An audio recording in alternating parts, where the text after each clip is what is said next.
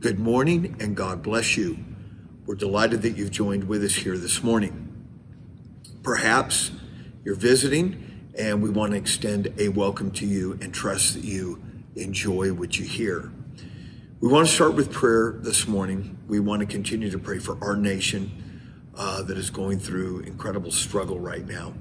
We want to continue to pray for our president that God would navigate his steps we want to pray for our local community that God would open up doors of opportunity to witness and to testify of this great truth. And then we want to continue to pray for Cornerstone, our brethren here in this local church. Perhaps you have a special unspoken request.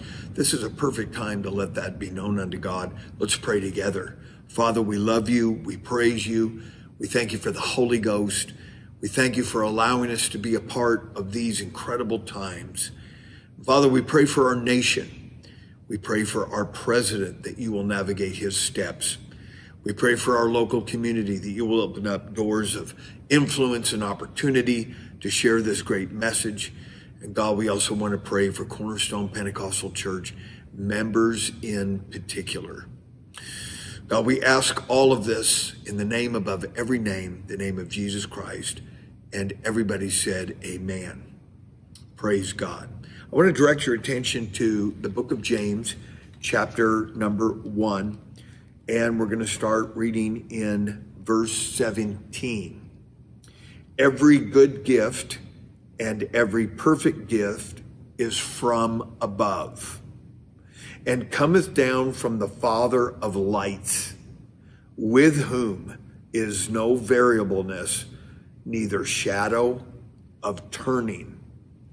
Of his own will begat he us with the word of truth, that we should be a kind of first fruits of his creatures. Praise God. What an interesting passage of scripture. I want to talk to us for a few moments about God's immutability. God's immutability. You're probably wondering, okay, what does that mean? The word immutability simply means that God does not change. God does not change. The book of Hebrews, chapter number 13 and verse number 8 says, Jesus Christ, the same yesterday, today, and forever. That's awesome. God's immutability. What exactly is immutability? Something that is immutable.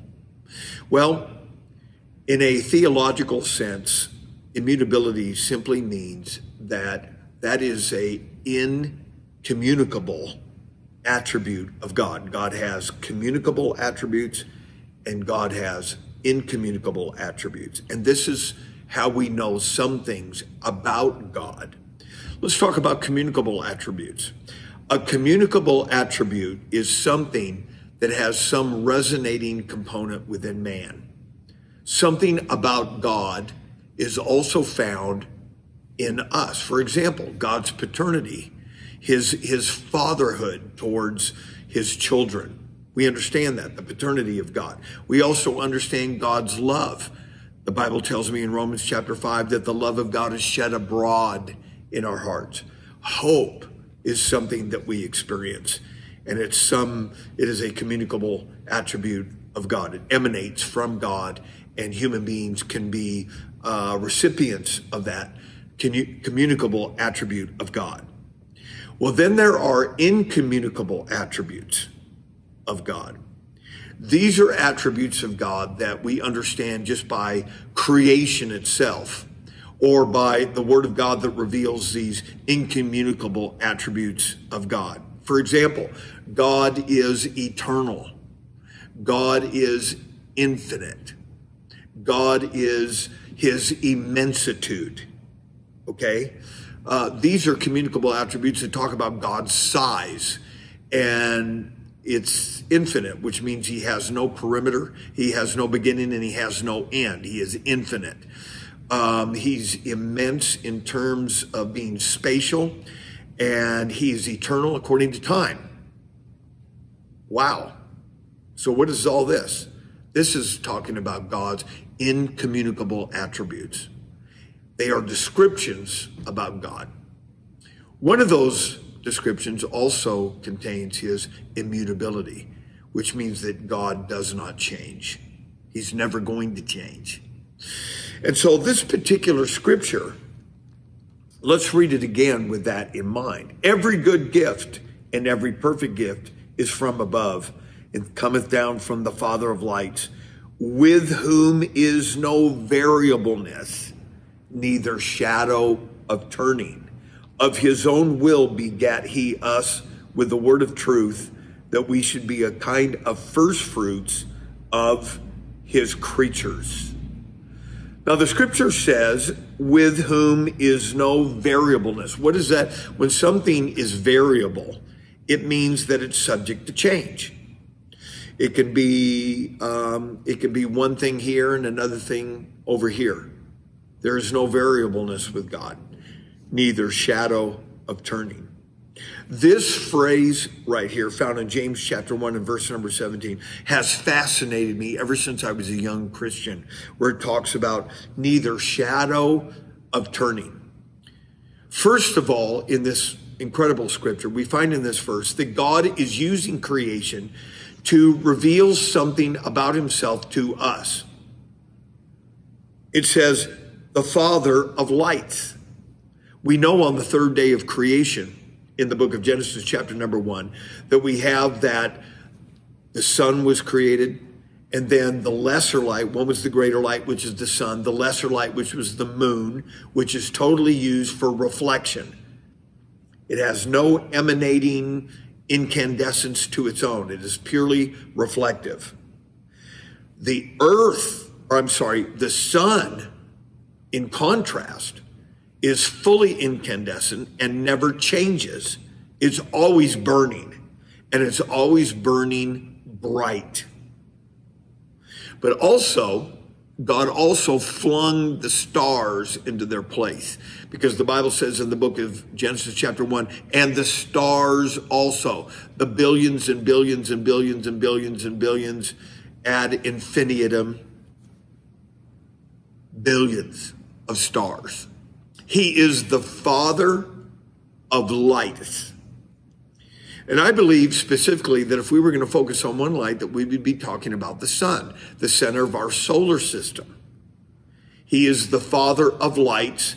And just like our sun never goes out, never has a day off, never is has a fluctuation in emanation, never has a variableness in in eminence,